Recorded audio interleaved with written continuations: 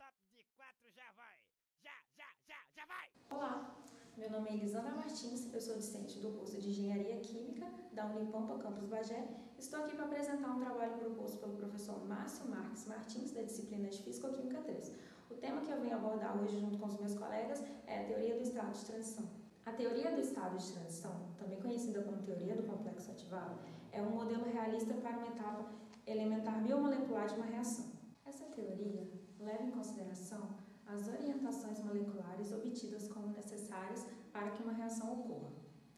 Também a barreira de energia que os reagentes devem ultrapassar para se tornar produtos. Alguns gráficos obtidos de, da energia total do sistema biomolecular versus a coordenada da reação são chamados de perfis da reação. O máximo na curva representa a barreira de energia potencial que os reagentes precisam ultrapassar para reagir. O modelo de estado de transição é a estrutura intermediária apresentada pelas duas moléculas ao máximo da energia potencial.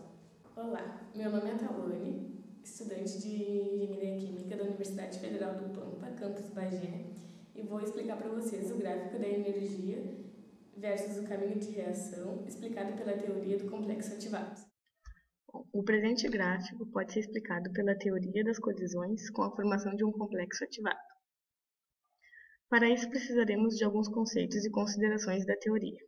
É, o primeiro conceito, um complexo ativado, é uma molécula intermediária de alta energia. Alta energia porque as ligações de, dos reagentes estão se quebrando e as do produto se formando. Agora, algumas considerações. Orientação favorável é onde as, as moléculas se chocam de tal forma que os átomos que estão no produto se choquem diretamente. E 3 deve ter energia suficiente para a formação do complexo ativado. Então, do lado esquerdo do gráfico, a gente tem os reagentes A e B em um nível energético mais alto que os produtos C e D. A energia necessária para formar o complexo, que vai estar no, ponto máximo do gráfico, é chamada energia de ativação, é, que é a energia necessária para formar esse complexo. Temos como ΔH a variação da entalpia, que é a variação de energia entre os produtos e reagentes, esse intervalo. Essa variação de energia entre os produtos e reagentes equivale à energia liberada pelo sistema, sendo assim nos representando uma reação exotérmica. Olá, meu nome é Yugner Miller, sou docente de engenharia química e eu vou mostrar a dedução do fator pré-exponencial. Em termos da teoria do estado de transição, o processo elementar biomolecular apresentado como a mais B forma produtos. É, pode ser dividido então em duas etapas do estado de transição C. A mais B, C, que é o estado de transição, C, e produtos. Onde este K e esse K representam as constantes de velocidade das duas etapas imaginais. Este K aqui é a etapa biomolecular e este para unimolecular. Se a reação considerada for de fato um processo elementar, então, em base nas ideias, as leis de velocidade podem ser escritas em termos de estequiometria. Então,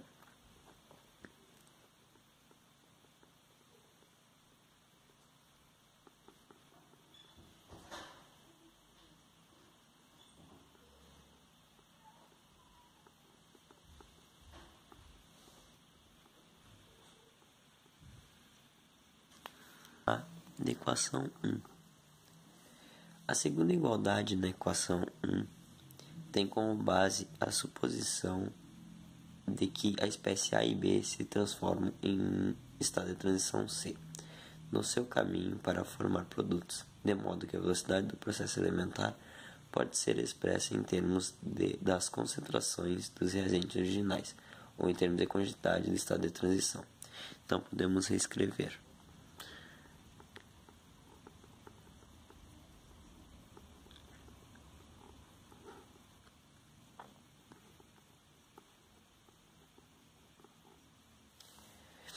As concentrações na chamada equação 2 na equação 2 correspondem uma constante de equilíbrio baseada nas concentrações da primeira reação do processo hipotético de duas etapas.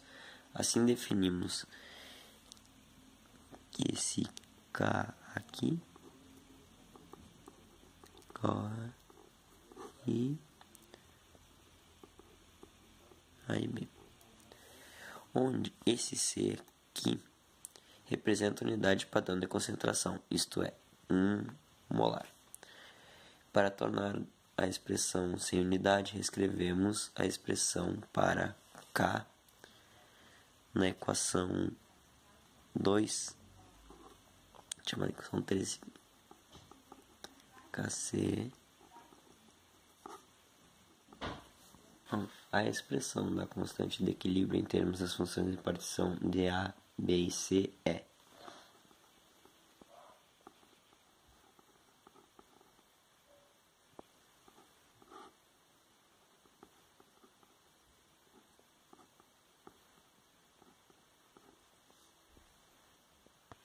individual pode ser separado em cinco partes, em cinco partes: translacional, eletrônica, vibracional, rotacional e nuclear. Vamos considerar duas dessas partes. As partes eletrônicas da função partição pode ser descrita como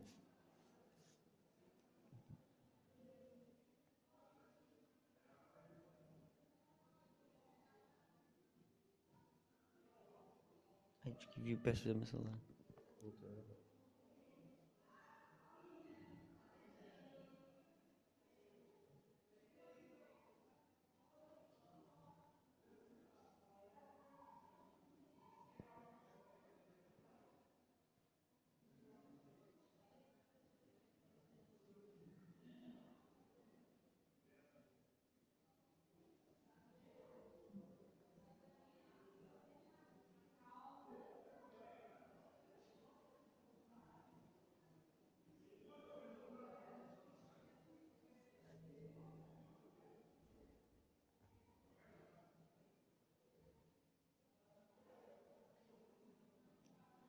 Onde dE das exponenciais se refere às energias de dissociação das respectivas espécies.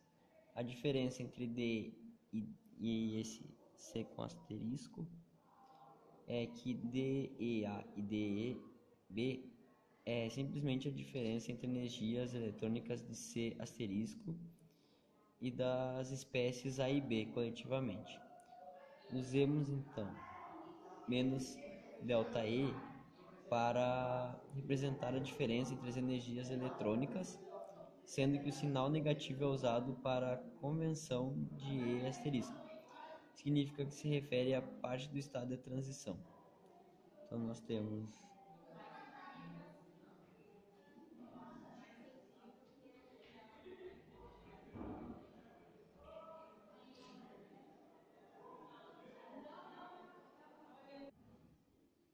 Consideramos também a função de partição vibracional desse asterisco. Ela é constituída de 3n menos 6. Temos, é, temos, temos, sabendo que um desses termos representa a vibração que segue o movimento desse asterisco na direção dos produtos. A função de partição limite de alta temperatura para esse termo é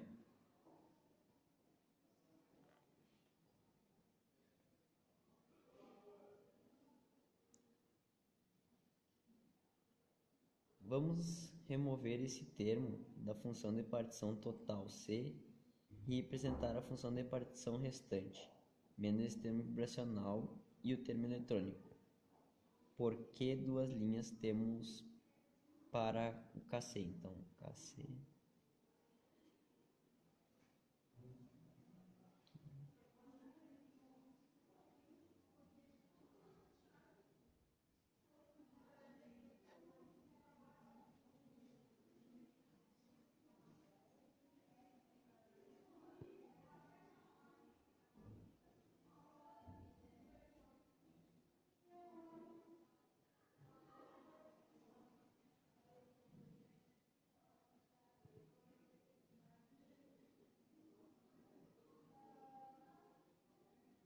Combinando as expressões com a expressão de constante de velocidade k, obtemos uma expressão para a constante de velocidade k na reação.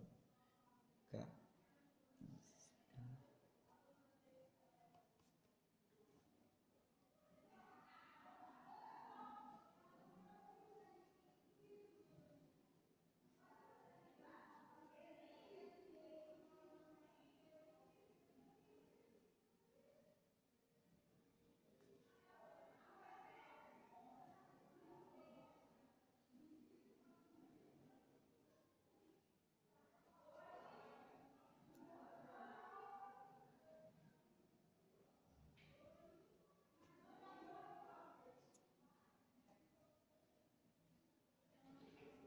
Os termos V asteriscos se cancelam e adquirimos que K é 1.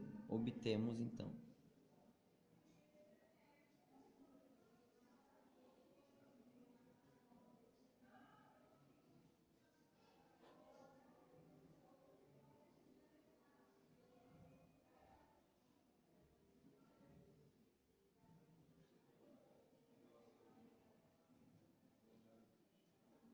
Então, é uma forma da equação de Hering, de Hering e é usada para calcular o processo elementar biomolecular. Obser- observando a equação, ela se semelha muito com a equação de Arrhenius. Essa aqui.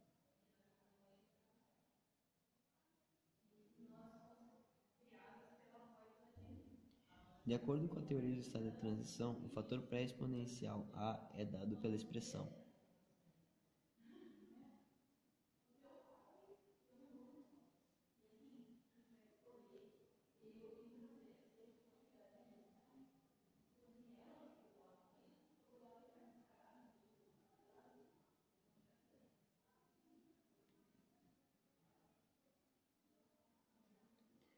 Assim, temos a oportunidade de calcular A a partir da teoria e compará-lo com os valores determinados experimenta- experimentalmente. Por causa da relação entre a constante de equilíbrio e a energia livre de Gibbs, podemos usar K para definir o valor da energia livre de Gibbs para a formação do estado de transição e escrever a equação de Hering em termos de energia livre de Gibbs. Assim, obtemos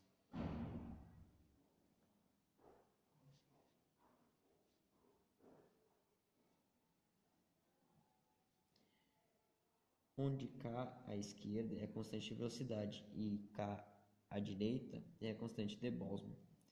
Como o ΔG pode ser escrito em termos de ΔH e ΔS, podemos escrever a equação como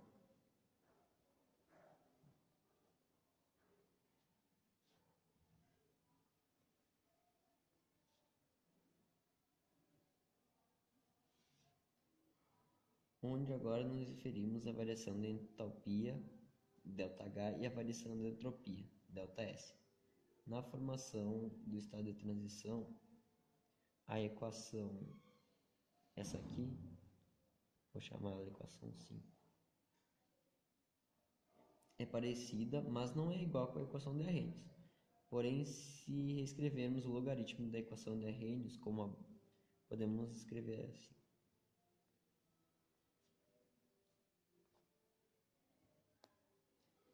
E diferenciarmos em relação à temperatura, temos um D1, um. D1 LNA,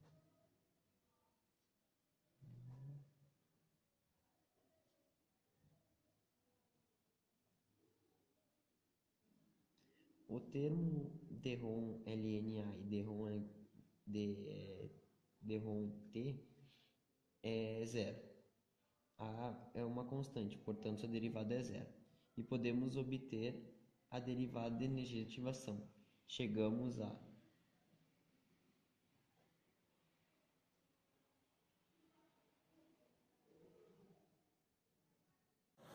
rearranjando temos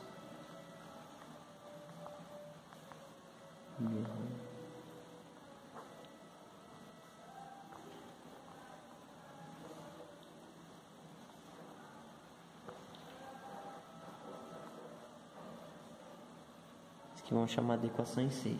Substituindo a expressão K na equação 5 e 6, encontramos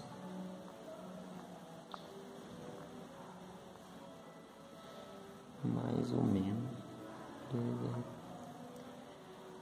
em termos da energia de ativação, K pode ser escrito sendo K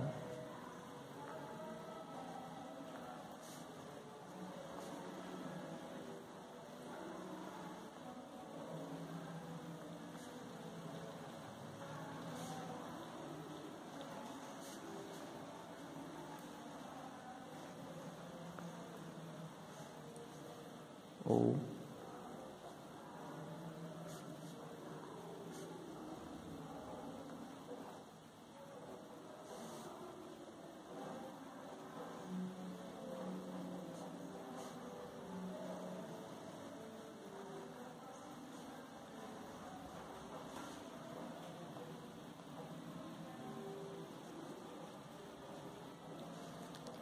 rearranjando temos esta equação.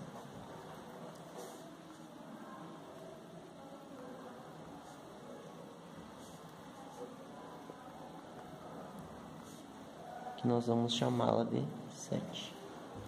Igualando 7 e a equação 5, obtemos o fator pré-exponencial.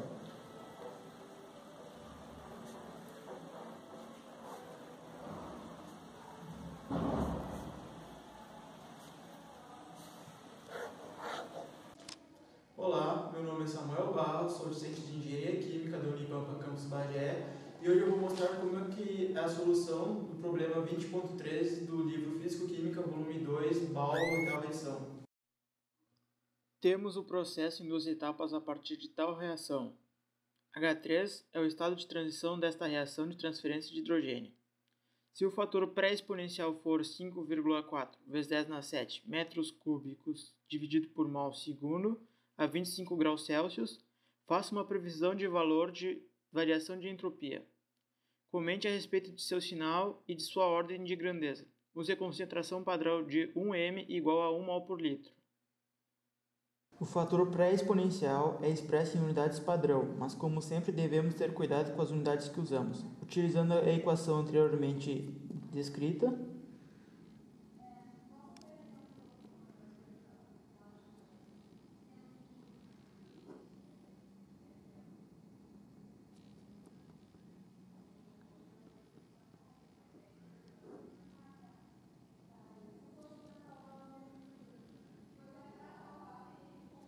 onde temos K como constante de Boltzmann, T como temperatura, C como concentração padrão, H como constante de Planck, ΔS como variação de entropia e R como a constante dos gases. Todas as constantes fundamentais têm valor conhecido, então podemos substituir.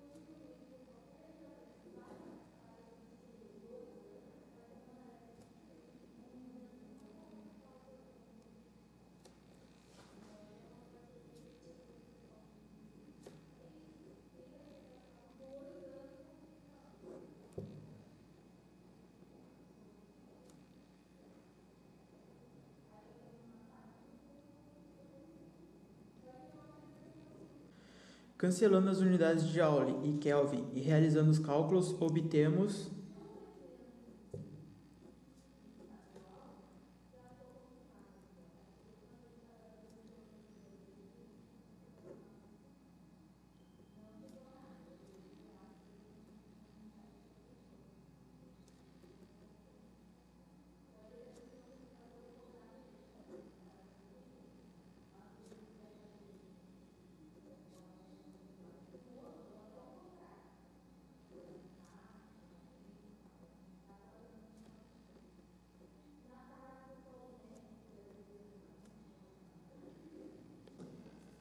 As unidades metro cúbico por mol e segundo podem ser canceladas pois aparecem nos dois lados da equação.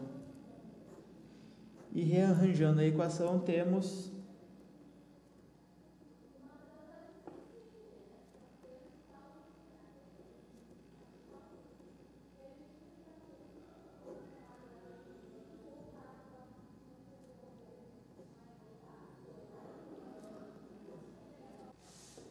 Calculando o logaritmo natural de ambos os lados, resolvemos a equação.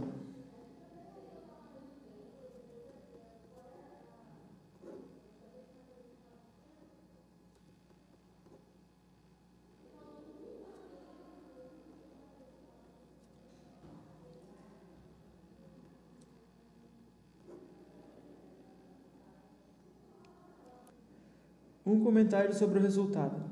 A diminuição na entropia sugere um estado de transição mais organizado do que os reagentes. Esta diminuição na entropia faz sentido quando se considera que a reação está formando um único complexo triatômico a partir de duas espécies individuais.